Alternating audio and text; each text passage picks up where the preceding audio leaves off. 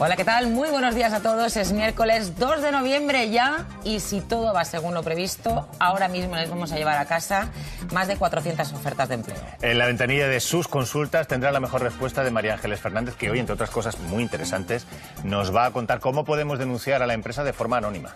O cuántos días de vacaciones nos corresponden si nuestro contrato es por horas. Y como la idea de tener que emigrar para poder trabajar se ha instalado ya entre los más jóvenes, y con razón, también vamos a hablar del Europass. El Europass, un dossier de formato común europeo que nos va a ayudar a presentar de forma clara y sencilla nuestras capacidades y cualificaciones. Estos dos son los documentos que podemos elaborar nosotros mismos. Los otros tres deben ser expedidos por la autoridad educativa de cada país o la administración competente. A ver. Es cierto que mañana y pasado se celebran en Madrid las jornadas Infoday Europass 2016. Participa aquí mi compañero y si es necesario pues nos pondrá al día de todas las novedades de este documento sin fronteras, ¿verdad? Verdad verdadera, compañera, sí. Bueno, pues nada, ya nos encontrarás. De momento, mucha suerte porque tenemos empleo que, nos, que ofrecerles para no salir del país primeros de la mañana y cómo ha ido evolucionando el negocio y otras con un enfoque más actual. Lo importante es que todos están permitiendo crear empleo y atraer al turismo. Hoy nos vamos al Museo del Chocolate en Rute, al del Vino en Balbuena del Duero y a uno de los tres únicos museos de magia que hay en el mundo. Y todo sin moverse de la silla. El chocolate que tiene un tirón. El chocolate. Bueno, pero vamos que nos vamos, que nos dispersamos, marchando otra relación de ofertas de empleo. Bueno, pues dejamos a los empleados eventuales a lo suyo y nos ponemos ya al servicio de aquellos que están pendientes de oposición para informarles sobre las convocatorias de empleo público en vigor. Suerte y de la buena a los que se presenten. Bueno, aquí estamos orgullosísimos de poder ayudar a todos aquellos que tienen alguna duda sobre sus derechos como trabajadores. Una ayuda que es posible gracias a la colaboración de los asesores del Servicio Público de Empleo Estatal. Hoy está con nosotros María Ángeles Fernández. María Ángeles, muy buenos días. Yo quería saber si me voy a la calle, si tengo alguna indemnización o... O sea que va a haber un cierre provocado por el fin de un arrendamiento, ¿no?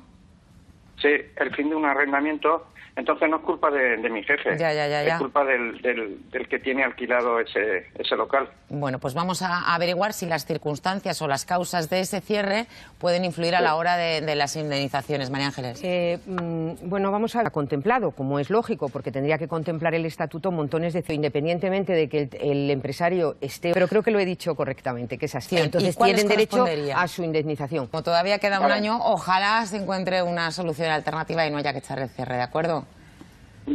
De acuerdo. Venga, buenos días. Venga, a ti. Vamos a pasar a la consulta que nos plantea Antonio desde Barcelona. Tiene 22 años, trabaja con contrato indefinido.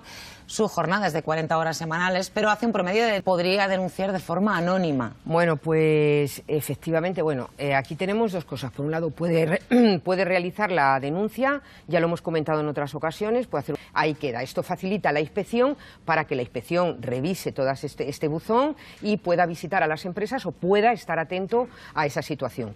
Por otro lado, si le deben horas extra, aparte de que haga la denuncia, es compatible. ¿Y puede negarse a hacerlas?